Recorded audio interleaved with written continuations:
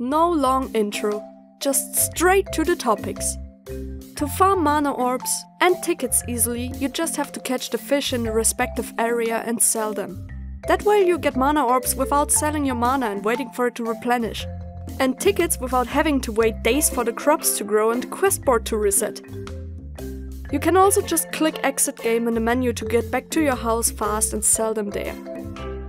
Now for the fish altars. What I realized in the time that I've been fishing is the fact that if you have more than one water body in a screen that is able to spawn fish, you have to run around and look where the fish spawned, since there's a max capacity of fish to spawn.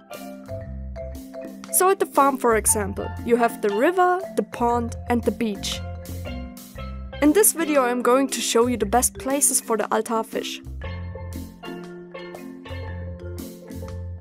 Let's start with the beach. The place next to the old man is the best place since you can just throw the fishing rod at maximum distance and every fish will eventually swim to it. Here you can catch the crab, the sea bass and the golden carp. The next place is the forest before the Nelvari forest starts.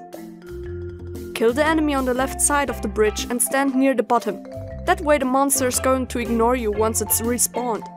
At this point, it's the same as the beach. The fish will eventually come to you, so no need to go around.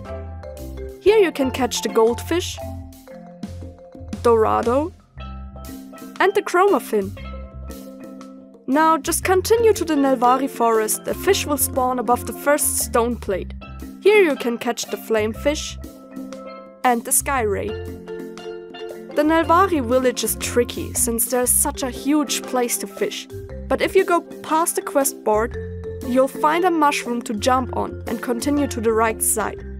Here's just one small pond where you can catch the crystal tetra. Withergate is the easiest place to catch fish. You just go to the right side, since for some reason fish don't spawn on the left side, and the last three altar fish can be caught here, them being the bonemouth bass, duorado, and purrmaid. And that's all for now. If you want more videos like this, just let me know. I hope you have fun with your journey through the world of Sun Haven. Bye bye!